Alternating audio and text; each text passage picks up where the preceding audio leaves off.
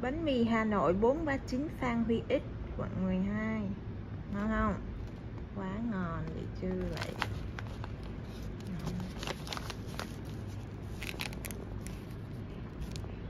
Xôi cũng bên cạnh đó là có quán xôi luôn.